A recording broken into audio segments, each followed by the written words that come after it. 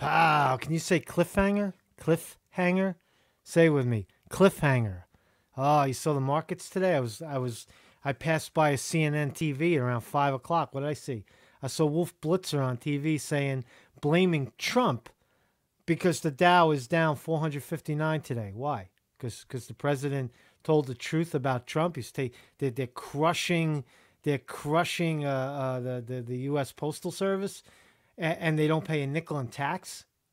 They Don't pay a fucking Amazon doesn't pay a nickel in fucking tax, and they're crushing the the the the, the United States Postal Service, and Trump calls them out on it, and we're supposed to feel sorry for oh oh oh poor poor poor poor Amazon. How much did you make, fucking Jeff Bezos? How much did you make? How much did you how much are you worth? 127 billion dollars. We should feel sorry for you. Fuck you, Amazon. Fuck you. Fuck you, Amazon. My name is Marcus Conte. I'm a investigative journalist. So this is this is big news, right? Cliffhanger meaning if you if you're not if you guys are not familiar with the market, right? The Nasdaq and the Dow are currently on on uh, challenge testing support, meaning they actually broke support today. Nasdaq closed under support, and so did the Dow, right? Double bottom. They tried it again. Market is now technically we'll we'll see in the next week, but it's technically in a reversal. It's a bear market. It's going down, right?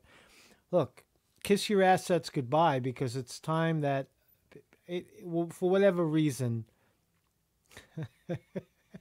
for whatever reason, right? People are waking up to the fact that the markets are a scam and they're a ripoff and and uh, and these these cocksuckers don't pay pay a nickel in tax, right? So if you have stock, it's time to get out. You know, if you got cash in the bank, it's time to pull it out. Am I right?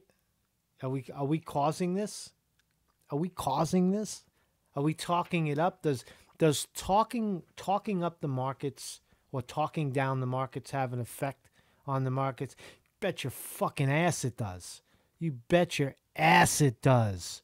The more you talk about it, and the more you expose the corruption that is Amazon, that is the six large banks, Citibank, J.P. Morgan, Wells Fargo, go they're going down, going down, sell off, they're selling off. It's big news, you know. See, that's my president, right? My First Amendment president getting out on, on Twitter four days ago and calling out Amazon, Jeff Bezos, breaking a trillion dollars in market capitalization, doesn't pay a fucking nickel in tax. Not one fucking nickel, right? So we should feel sorry for them. They're ripping us off.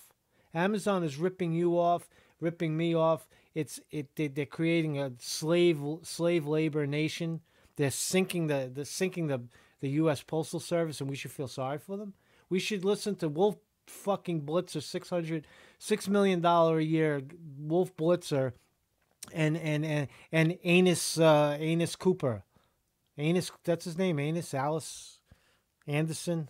excuse me, Anus Cooper and, and Wolf Blitzer are, are on CNN blaming Trump for the crash in the market. Yeah, yeah, yeah, blame him, right? But give him credit. Credit where credit is due. The markets are inflated. These six or eight thousand companies don't pay a fucking nickel in tax. They're sucking the blood out of the American uh, uh, American economy, and, and, and they, they're taking subsidies. They, they got the law rigged in, in such a way that whatever they do is legal. The SEC is is mute. The, the the federal government there's no oversight, no oversight. They're they're they're scoundrels. This is how you break the oligarchy. This is how you break the oligarchy. This is how you break the oligarchy. This is how you break the oligarchy. One sh- one one stock at a time. Yeah, see, I wrote a song. I look, folks. This is this is good news. We should all be Donald Trump. Donald Trump. This is for Donald Trump. My president, president, my president. Sink the markets. Take no merciless. You have to break the banks, right? And by talking up the markets, it has a significant effect. Significant. Significant. You see, we just cost by talking up, by talking down the markets, by exposing Amazon for frauds that they are. Right? These are legitimate companies. Look, I, I have a book on Amazon. I you know I, I, I bought you know hundred things on Amazon. Pay your fucking tax. Give back. Give back. Right? No no no reciprocation. So now what do you get? This is your this is your chickens coming home to roost, right? People are now onto you. Right? People are on to you. This is this is what we have to talk about. This is the problem, right?